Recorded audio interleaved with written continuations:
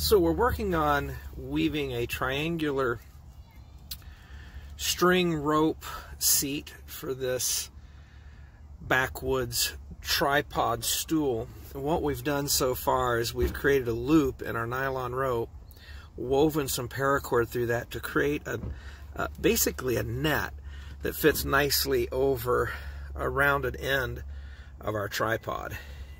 I'll show you how we do that.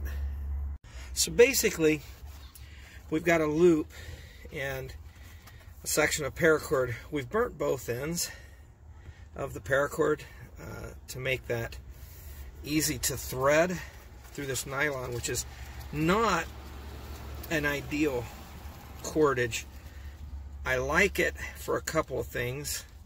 One is this right here. So I'm going to pull this loop open on the end and I'm going to push my paracord through that. And I'm going to pass that through itself. So that gives me, I've got about 11 inches, 10 or 11 inches of paracord here that I can continue. And so what we're trying to create is a web that will go over the end of our tripod. To make that happen, I'm going to come down the nylon cord, pull its strands apart, and I'm going to take my paracord through that, just like that. I'm going to go to the opposite side.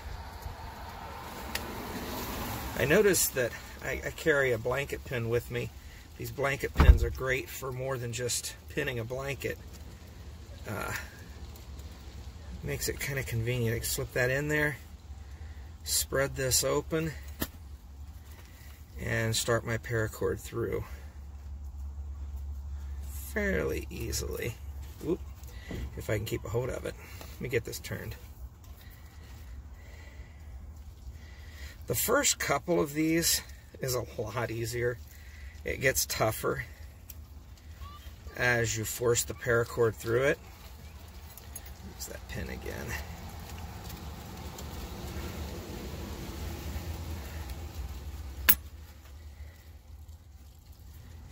So, as you can see, and then we're going to come back across and we're just going to continue to do this crossing it over each other and then we come back up through. We'll show you that. So we've woven this along the nylon cord and hopefully you can kind of see how we cross that end. What I learned from the other loop was to try to leave these loose so that it fits over the tripod pole easily. And then we're going to come back up from the opposite side and we're going to feed this through right there at the top. And this is on the back side of the paracord. So it kind of serves as a backing behind so you can see through that. The pole is just going to literally push up into that just like my thumb right there. And that's going to allow me to hook this over the pole, this remaining tail on my weave is going to allow me to lash this back to the tripod. We'll show you what that looks like. So just to be clear, there's no right or wrong way, I guess, to do this. This is just something I wanted to try. Uh, obviously, I could take a tripod. Actually, the cordage I'm using here, I had a little paracord just out doing a little hiking, hanging out in the woods today.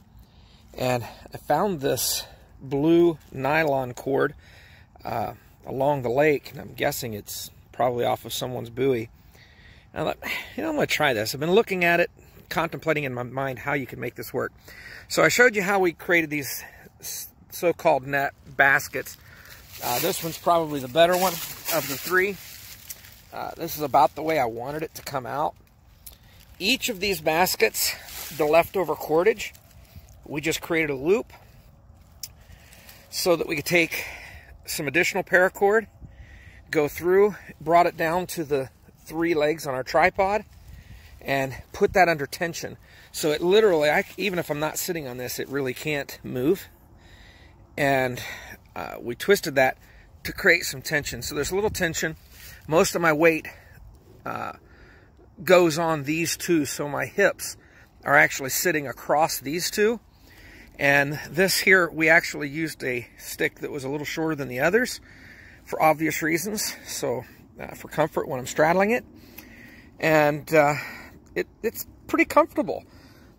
If I was out here and wanted a stool to sit on to keep me off the ground, uh, such as this afternoon, it's a little damp.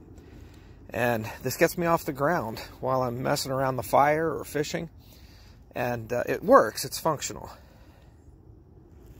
So one other uh, point that I want to make and kind of tinkering with this, a thought that I had, and I may unwind all this and try it this way. I usually carry a saw, don't have it with me today. I could notch each of these tripod poles, and in that case would not need this basket.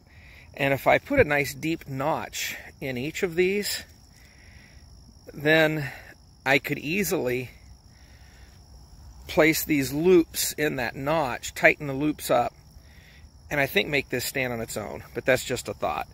So this is a fun little project. I know it can be done.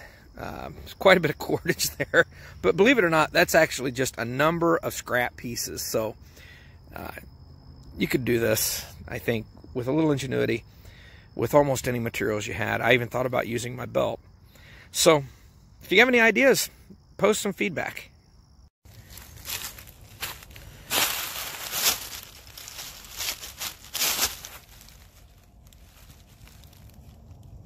So we've got a functional tripod with nothing but scrap cordage and a little bit of ingenuity. Pretty comfortable.